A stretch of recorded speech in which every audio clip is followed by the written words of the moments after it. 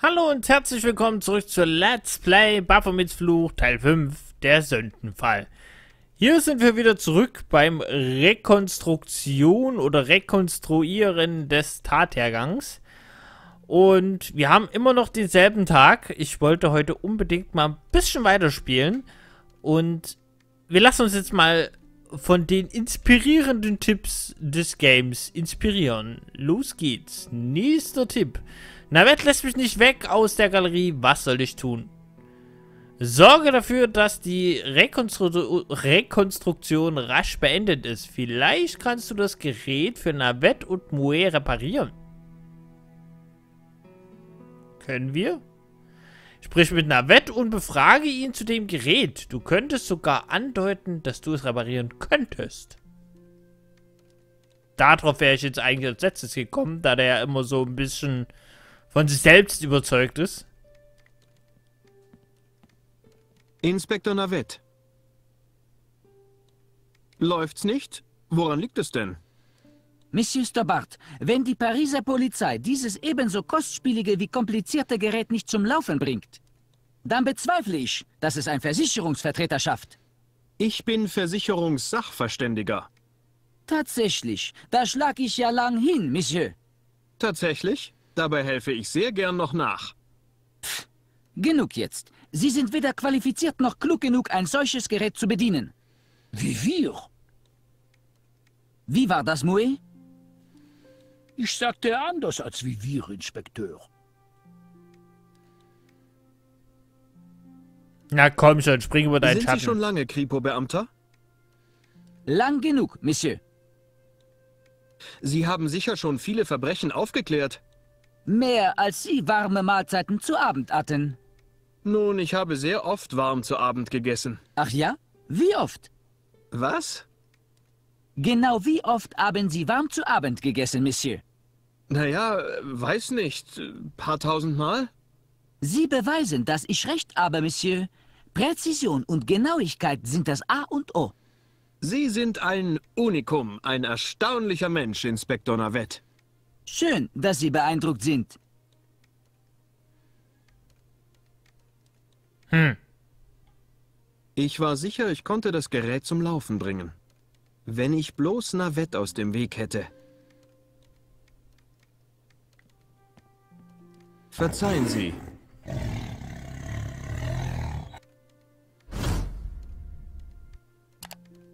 Bitte, Monsieur, ich bin etwas beschäftigt. Wie kriegen wir Moe raus? Also Kann vielleicht ich noch kann... was fragen? Wenn's sein muss. Können Sie mir sonst noch was über Navet erzählen? Der Mann ist ein Idiot. Gut, danke. Hm, hilft Ja, nicht wirklich klar. weiter. Inspektor Navet.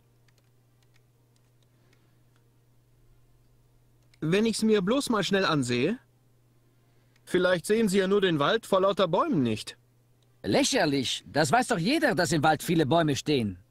Ich meinte, vielleicht sehen Sie das Offensichtliche nicht.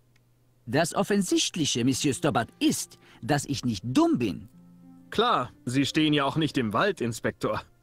Genau. Und jetzt überlassen Sie das bitte den Experten. Sie sind hier sicher der Obermacker. Ja, ich bin der Obermacker. Und der Obermotz? Sind Sie auch der Obermotz? Halten Sie gefälligst den Rand. Ich muss mich konzentrieren. Ich frag ja nur. Mr. Stobbart, wenn Sie mich weiter belästigen, verhafte ich Sie auf der Stelle. Ich beschloss nicht weiter zu bohren. Wie kriegen wir den dazu, äh, sich was anderes anzugucken?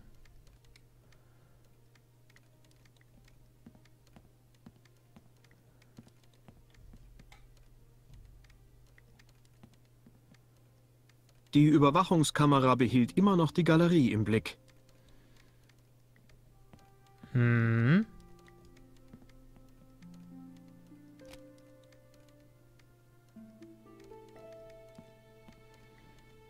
Vielleicht hilft das ja.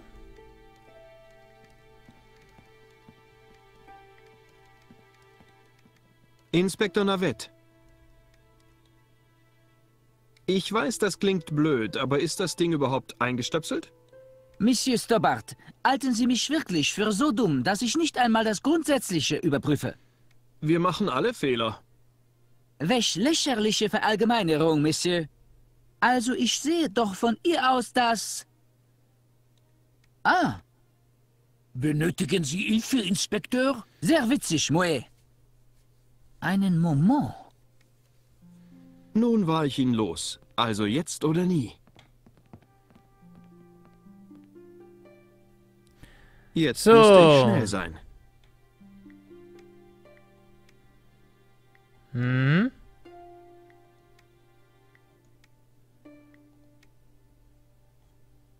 Okay, und... Nein!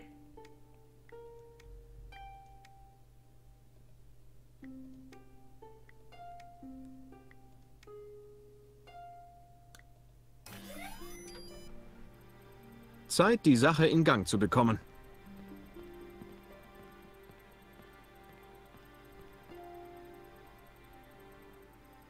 Sehen Sie, Moe, ich wusste, ich schaffe es. Ich bin nicht sicher, ob... Äh, Genau. Sie wussten, mein überlegener Intellekt würde am Ende obsiegen. ja, Inspekteur. Inspekteur, ich bitte um Verzeihung, aber da ist ein kleiner Acker. Ich irre. Wir haben... Großer Gott, Moe, wollen Sie mir nahelegen, jemanden zu töten, um die Szene nachzustellen? Nein, Inspekteur. Wir brauchen nur eine Leiche. Ah, ja, verstehe. Aus Ihnen wird noch ein Kripo-Beamter, Moe. Das habe ich natürlich bedacht. Und das machen Sie. Ich? Ich bin doch nicht tot. Noch nie Theater gespielt, Monsieur Stobart? Naja, ich will mich nicht loben, aber meine Hauptrolle in Die Katze auf dem weißen Frechdachs hat letzten Sommer ziemlich das Haus gerockt. Als Katze oder als Frechdachs? Weder noch. Also keine Hauptrolle. Neue Halbwahrheiten, Monsieur? Wie auch immer. Jetzt bekommen Sie eine echte Hauptrolle. Aber er sieht gar nicht wie das Opfer aus, Inspekteur. Oh verdammt, Moe. Müssen Sie ständig Probleme sehen? Lassen Sie mich nachdenken, wie wir das machen. Auf Navets Problemlösungen zu warten, konnte eine ziemliche Weile dauern. Ich brauchte etwas, das mich mehr wie Henri aussehen ließ. Ich sehe mich mal um. Vielleicht finde ich was. Ja, tun Sie das. Wirklichkeitsnähe ist wichtig, Stobart.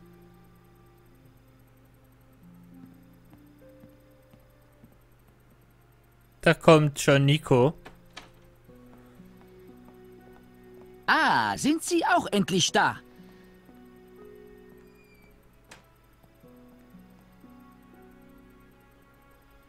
Bitte machen Sie es sich bequem. Wir nehmen nur noch einige Korrekturen vor. Pater Simeon, Nico. Hi, George. Willkommen in der Anstalt. Lass mich raten. Navette ist überglücklich, dass wir den Fall gelöst haben und schlägt uns für einen Orden vor. Hm, nicht ganz.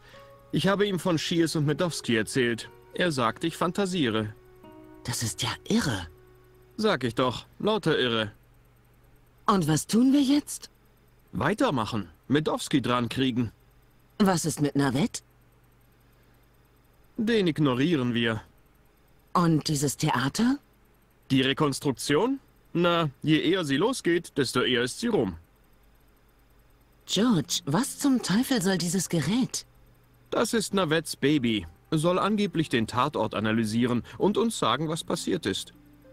Aber das wissen wir doch schon. Wir ja, aber Navette nicht. Ruhe bitte! Wie soll ich mich bei dem Lärm konzentrieren? Lane hatte recht. Navette war ein Idiot. Und das war ein- Sternchenzeichen. Hallo Nico, hat sich was getan? Nicht viel seit unserem letzten Gespräch, George. Ich weiß aber, dass äh, wir hier raus müssen. Henris Sachen fand man vermutlich am ehesten in seinem Büro.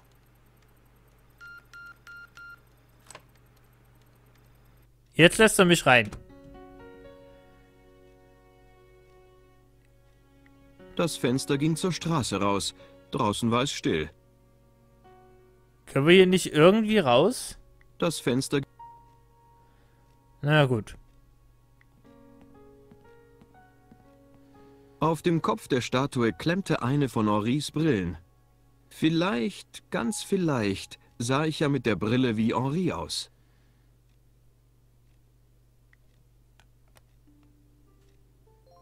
Es war eine Statue von Henri. Hm, hm, hm, hm. Der Kram musste seit den 70ern Staub angesetzt haben. Da war eindeutig nichts Brauchbares. Es war eine Wasserpfeife. Von den Dingern kriegte ich Kopfweh. Eine Lavalampe. Stand ich auf sowas oder nicht? Der Schreibtisch war voll mit Henris Kram. Und nichts davon war brauchbar. Der Schreibtisch war... Und nichts davon... Es war ein ramponiertes Sofa.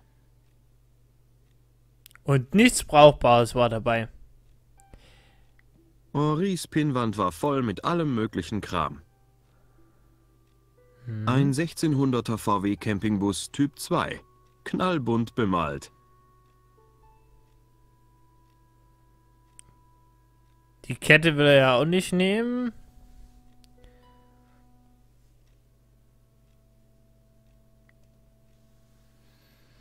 Das Es war still. eine reichlich auffällige Uhr. Es war eine... Das wäre nutzlos.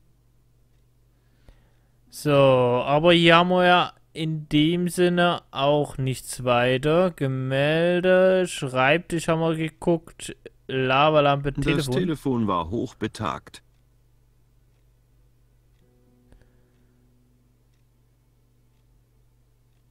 Der Kram musste seit den sieben Rohr, Krempel, Gitarre. Henris Gitarre. Der arme Mann würde nie wieder Gitarre spielen. Aber er will es auch nicht mitnehmen. Gut.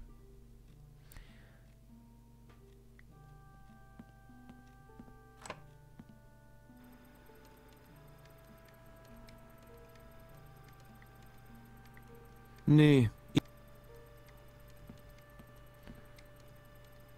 Das war die Brille, die ich von Henris Statue genommen hatte.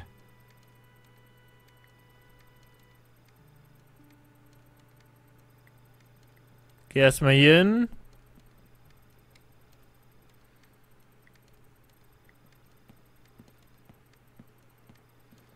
Ich habe diese Brille von Henri gefunden. Gestohlen oder gefunden? Egal, das könnte funktionieren.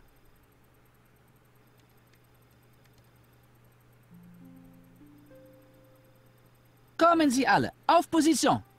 Ich will, dass jeder dasteht, wo er war, als das Opfer starb.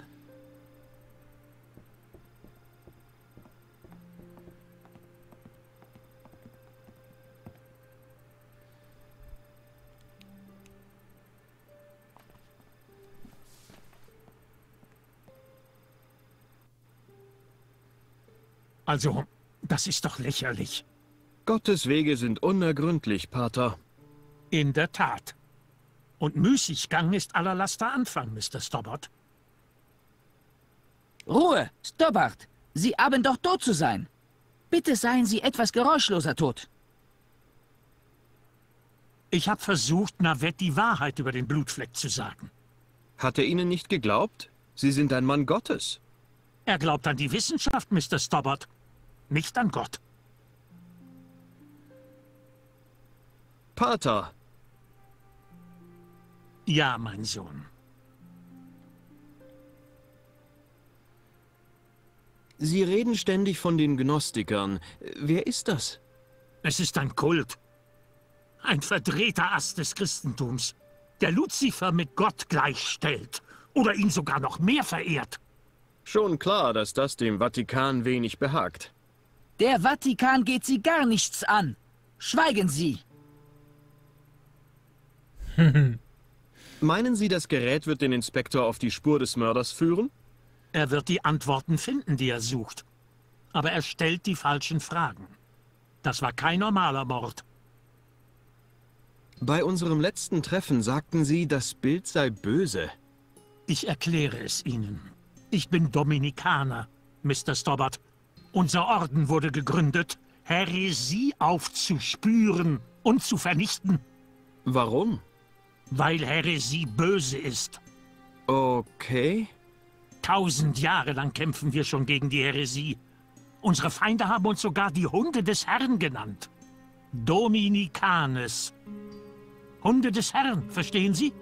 Wie genial. Also, dieses Gemälde, La Maledictio, ist zweifellos Häresie. Halt, Moment. Wie kann denn ein Gemälde Häresie sein? Weil es vor gnostischen Symbolen strotzt. Und Gnostiker sind Heretiker. Was für Symbole?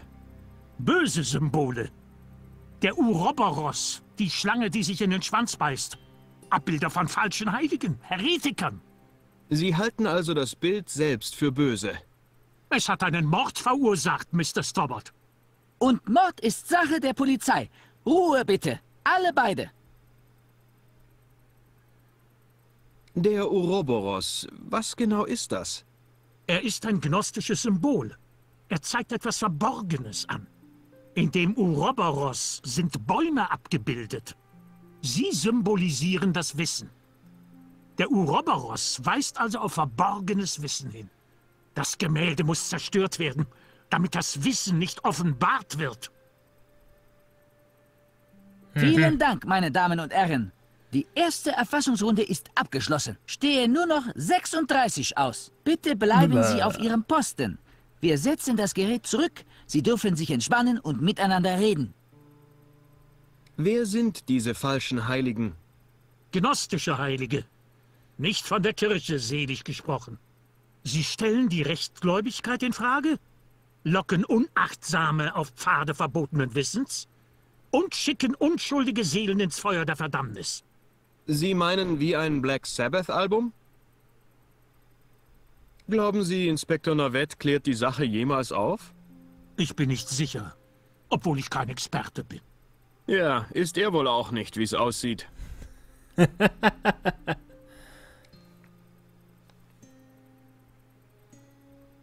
Vade Retro Satana! Was ist denn? Es ist schlimmer, als ich dachte. Was denn? Ist doch bloß eine Skizze. Nicht bloß eine Skizze. Das Gemälde Hatte ich irgendetwas Falsches gesagt? Ich muss hier raus. Sofort. Pater Simeon, ich verbiete Ihnen zu gehen. Dies ist eine offizielle Ermittlung. Verstehen Sie nicht? Großes Übel ist über uns gekommen. Das Gemälde ist böse. Die ketzerischen Gnostiker sind im Bunde mit dem Teufel. Dem Teufel? Verstehen Sie nicht? Die Tabula Veritatis, die Tafel der Wahrheit, sie existiert. Na, na. Da ist aber jemand aufgeregt. Packen Sie Ihre Zeugen nicht zu hart an, Inspektor Navette? Wer sind Sie denn? Dies ist Sache der Polizei.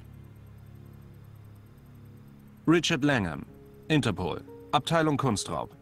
Wir haben telefoniert, Inspektor. Ah ja, ähm... Oh, Sie hatte nicht gesagt, dass Sie an meinen Tatort kommen wollten. Was genau ist dieses Gerät, Inspektor?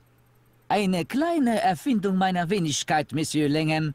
Es wird errechnen, wessen Blut das da auf dem Boden ist und... Keine Sorge, Inspektor.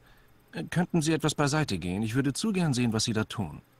Ah, natürlich. Es ist schon recht bahnbrechend.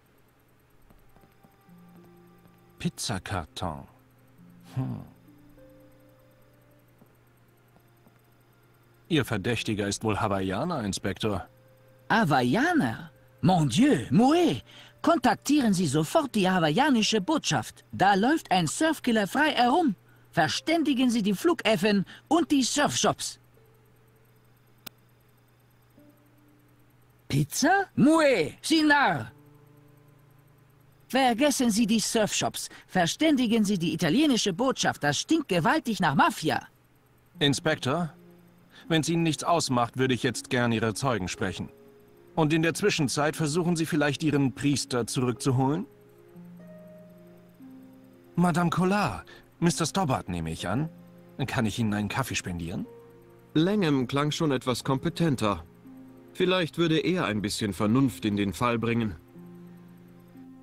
Dank Auf jeden Fall besser als der andere. Laufenden. Er hat mir auch von Ihnen beiden erzählt. Ich kann mir lebhaft vorstellen, was. Aber wieso interessiert Sie dieser Kunstraub? Ich ermittle schon seit einiger Zeit gegen eine Bande von Kunstdieben. Und das hier sieht nach einer guten Spur aus.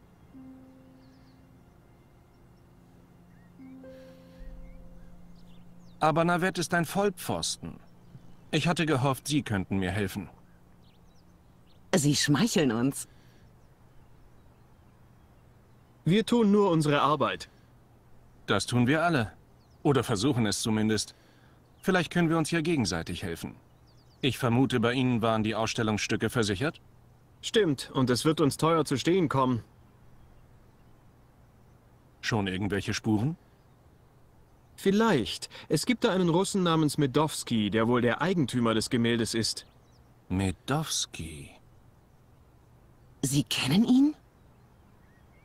Ein Oligarch. Öl, Kunstwerke, Aluminium, Ex-KGB. Übler Kerl. Sie müssen vorsichtig sein. Medowski ist gefährlich. Er tötet jeden, der ihm im Weg steht. Für einen Bullen schien Langham ganz okay zu sein. Das Problem bei Abmachungen mit Polypen ist nur, dass man am Ende meistens draufzahlt. Aber ich fand das vertretbar, wenn ich dadurch Medowski zur Strecke bringen könnte. Wir haben Beweise gefunden, dass Medowski etwas mit der Wachfirma zu tun hatte, die für die Galerie zuständig war. Hm. Interessant. Und einer seiner Männer, ein Kerl namens Shears, war am Tag des Diebstahls in Paris. Ach, wirklich? Wir haben auch einen Brief von einem gewissen Genen gefunden, der Medowski das Gemälde abkaufen wollte. Genen. Der Name kommt mir bekannt vor. Haben Sie sonst irgendwas über ihn rausgefunden? Nein, wir waren ziemlich in Eile. Was ist mit dem Priester? Dem guten Pater Simeon. Irgendwas hat ihm Angst eingeflößt. So viel ist sicher. Hab ich gehört. Er sagte immer wieder, La Maledictio sei böse. Vielleicht hat er recht. Zumindest hat das Bild Böses bewirkt, oder? Ich gehe allen Hinweisen nach, Mr. Stobbart. Selbst denen von verrückten Priestern. Bleiben wir in Verbindung. Danke für Ihre Hilfe. Der Kaffee geht auf meine Rechnung. Oder genauer auf die von Interpol.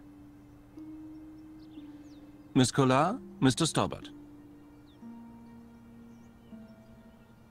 Und George, was denkst du? Interessant.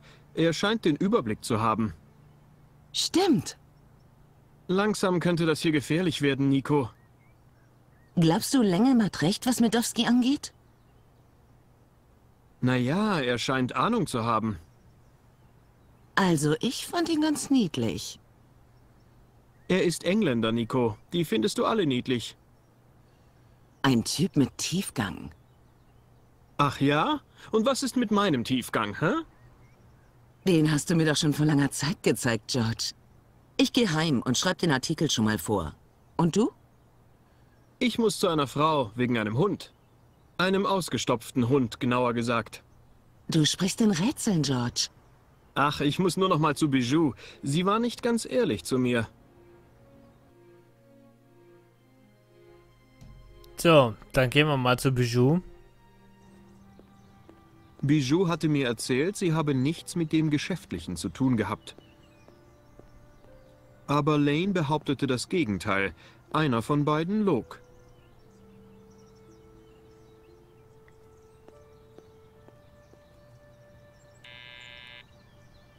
Ja? Bijou, hier ist nochmal George. Ich muss das jetzt noch auf jeden Fall rauskriegen.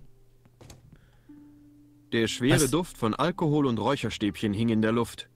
Erinnerte mich an meine Studentenzeit. Was ist passiert? Josh, bitte helfen Sie mir. Ich bin am Ende. Oh, helfen Sie mir. Sie müssen mir helfen. Was ist denn, Bijou? Ich kann unsere Lied nicht mehr spielen. Erst verliere ich Henri, jetzt noch unsere Lied. Sie meinen die Schallplatte? Was ist passiert? Ich bin gestolpert und aus Versehen draufgetreten. Was war das für ein Lied, Bijou? Ich bin am Ende ohne unser Lied. Am Ende. Der Name des Lieds, Bijou? Jasmin. Es war unser Lied. Ich werde sehen, was ich tun kann. Lane hat mir gesagt, Sie hätten den Herkunftsnachweis und Sie hätten den Papierkram der Galerie erledigt. Oh, in meinem Kopf fährt ein kleines Mäuschen immer rund und rund und rund. Bijou, ich muss das wissen. Alle Papiere sind im Safe, im Büro der Galerie. Und hören Sie auf mit der ganzen Fragerei. Bijou, wo ist der Schlüssel für den Safe? Henri? Sie sind nicht Henri.